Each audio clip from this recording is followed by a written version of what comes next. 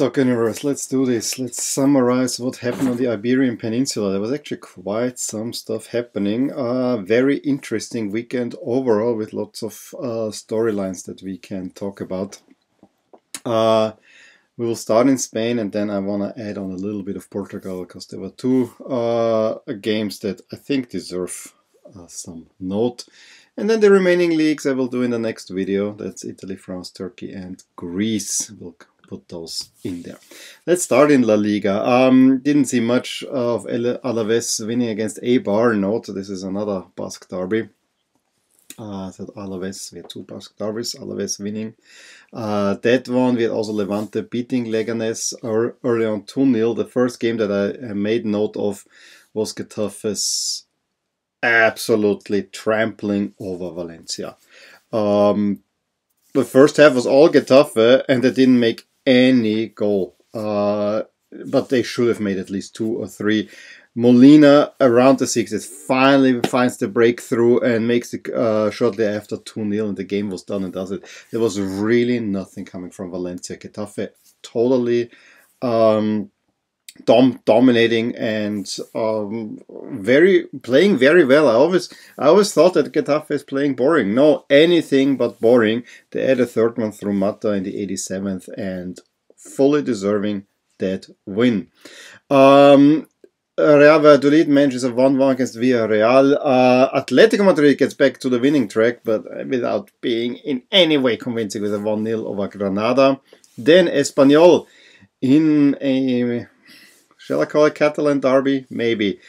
Ardo T. T. Raul de Tomas scores and gets for Espanyol a win again, and then the big derby Vasco between uh, Real Sociedad and Athletic Club, uh, where in many ways, forget about the first half.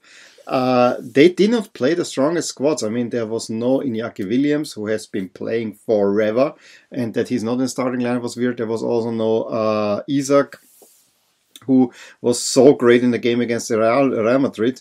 It was when the two came on, especially when Isak came on, that the game totally changed. Isak took uh, Sociedad's game to another level.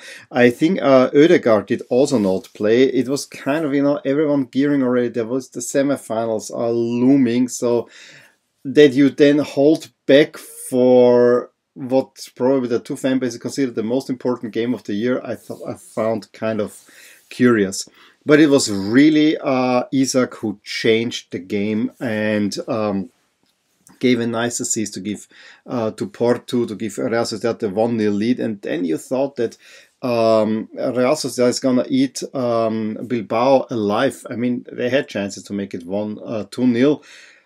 And then one of those counteracts where Williams is so um, deadly. He gets the equalizer in the 71st, and you really thought, oh, is this not going to end 1 1? Is this, is the psyche? I always have the feeling the psyche of Sociedad is kind of a little bit uh, fragile, but no, Isak gets the winner.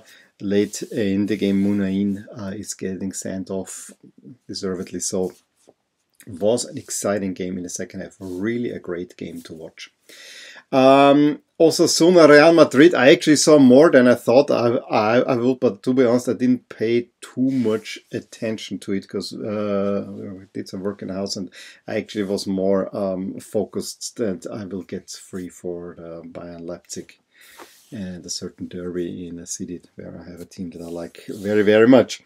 Uh, Osasuna challenged Real Madrid and even took the lead. They had great chances to actually um, get to the lead uh, sooner, but in the 14th, Unai Garcia makes it 1 0 and actually forced Real Madrid to take the next gear. And it came uh, when a shot by Bale was kind of made but and Bale playing again after his injury, finally sort of fit or is deemed fit and the ball comes to Isco, who really nicely volleys it into net, make it 1 1. And five minutes later, Sergio Ramos, who has been agitating uh, every player and got himself riled up, he seemingly needs it. Free header uh, makes it 2 1. And you know, Ramos celebrates only as Ramos can. So yeah, uh, was 2 1. And then uh, it was still an open game in the second half. I mean, there I saw quite some, and yes, you always had the feeling that Real Madrid can control but Osasuna is one of those, those teams where they, they just need a, ch- a, half chance. But overall, Real Madrid had it under control, and they got the goal through Vázquez and then very late through Jovic uh, to make it 4 1, despite Osasuna hitting the bar. At the very end, it ends in a 4 1 for Real Madrid kind of convincing and putting the screws a little bit on Barcelona because you know with a three point lead, Barcelona being three points behind, we need to keep winning. And the Real Madrid doesn't look spectacular, but they look very good. I think they they should be considered the favorites to win this title, especially with the trouble that Barcelona is going through. More Barcelona a little bit, a little bit later, because we have another uh, super frustrating team to talk about, which is Sevilla, um, who had more of the game at Celta, but you know, Celta is, uh, despite being down there, kind of a dangerous team. En-Nesyri gives them the lead. They cannot make more out, out, out, out of it, and you thought, yeah, 10 minutes to go, they will safely play this home. Nothing like that. Iago Aspas in a in a shot from a very acute angle, only Iago Aspas can do that. I always have the feeling. Makes it 1 1 and Pione Sisto, who came actually on and that changed the dynamic for Celta Vigo. He gets with a very precise shot the winner in stoppage time, and this was a win that Celta Vigo desperately needed. And then we had the uh, big game that uh, in Spain, that big game. Quique Setien's return to Betis with a kind of, was a kind of an acrimonious split. Um, and it gotta be said, the interesting thing of Barcelona was that they didn't have as much possession or, um, you know, hawk the ball as usual. No, they gave up a little bit, but kind of got a little bit more danger, and they have been showing this already uh, against Bilbao. I didn't see both games, but I heard and from the highlights saw enough to see that Barcelona has a little bit more purpose to their game. But uh, it's still, I have the feeling that Setien is still fiddling with his lineup of especially how to play Messi and how to uh, integrate him with Griezmann the most effectively. Uh, we will talk about Messi in a sec. But first of all, uh, Canales gives Betis the lead through a penalty in a game that opened up through that very much so. Frenkie de Jong, uh, just three minutes later, with, with, a wonderful assist from Messi, and then the way he takes the ball and slams it into net was really, really impressive. It was a great goal by Frenkie de Jong. Uh, but Fekir, who was near unplayable for Barcelona, gives um, Betis the lead, lead again and could have done a whole lot more damage. And you thought Betis is going to the half with a 2 1 lead. No, Busquets, uh, with his first goal of the season, again assisted by Messi, gets uh, gets an equalizer for Barcelona, and so it adds uh, with we goes with three two into the second half. Uh, I found it interesting that Betis pulled out some purely green shirts with white pants. That's a look I haven't seen on Betis. I don't know if I to say ever, but if I haven't seen it, if I have seen it, it has been a long while. But you know, special jerseys, and I was surprised that Barcelona again plays in there with the sash. I like those. I just thought they will uh, pull out the Catalan flag jerseys again. But hey, all fine with that. Um, Messi had chances and again he's not making chances but he is assisting many, many goals i mean one story is i think what was it 27 shots messi has taken and not scored and it's not uh, i saw it already uh, against bilbao there's there were chances where he should have scored against uh, against betis he should have made some of those goals but uh, I, I he even tried to replicate his wonder goal uh, that he made last year. Exact same goal, exact same position against Betis, and it goes a little a little bit wide, which kind of proves the point that you only hit this once uh, that way. Even Messi cannot repeat uh, magic. But then he assists Lenglet uh, for a header to make it 3 2. Should have been more comfortable for Barcelona, I have the feeling. But you know, uh,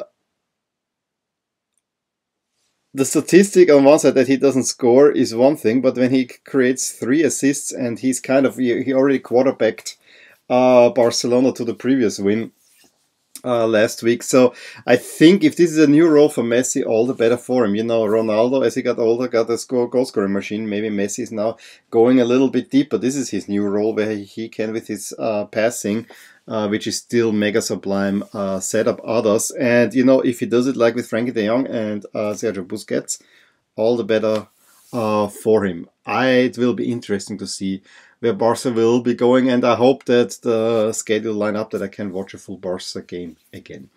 So in the table we have uh, Real still three points ahead of Barca. Um, as long as it's three three points, I don't say anything because Barca would have a Clásico in Madrid, uh, a game that they love to win. Getafe second best team in the Madrid region ahead of Atletico Madrid with the win go up because Sevilla is losing. Real Sociedad moves up, Valencia goes down. So there's a whole lot of switch around. It still looks like the top two will uh, go for a title, and the rest is playing for your European spots. Uh, Athletic Club is probably the first one where I say it might get tough to uh, get into Europe. Um, and then you have to go a long way down, I think, up until Eibar. This kind of this no-go zone, and then Celta Vigo, Real Mallorca, Leganés, and Espanyol all are jostling for uh, the final saving spot. Celta Vigo has it at the moment, but there are three teams with 18 points. Very, very, very tight in there.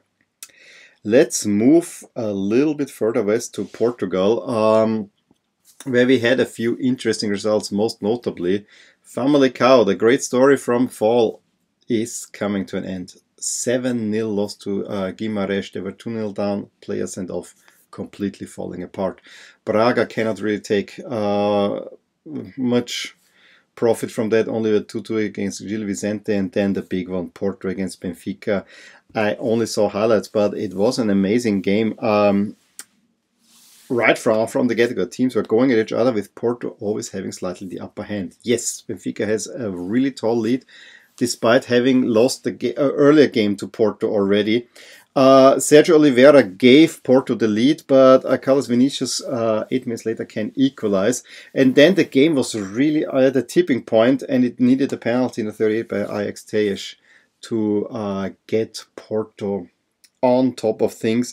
And just uh, before halftime, really, I don't want to say sloppy on goal, but it was one while he's sliding in there, it just goes in makes it 3-1 at the half for Porto. Um, and Benfica cannot really get back in the game. They get the early goal to make it 3-2, but then Porto controls it and runs away winners. Um, the other Lisbon team, Sporting, is uh, also winning. And so in the table at the moment, we have Benfica now only four points. And note that Porto took six points off Benfica. Benfica is up there due to the strength against all the other opponents. Sporting uh, with a clear distance, uh, 35, and then Braga and Famalicão is just dropping, dropping, dropping, dropping.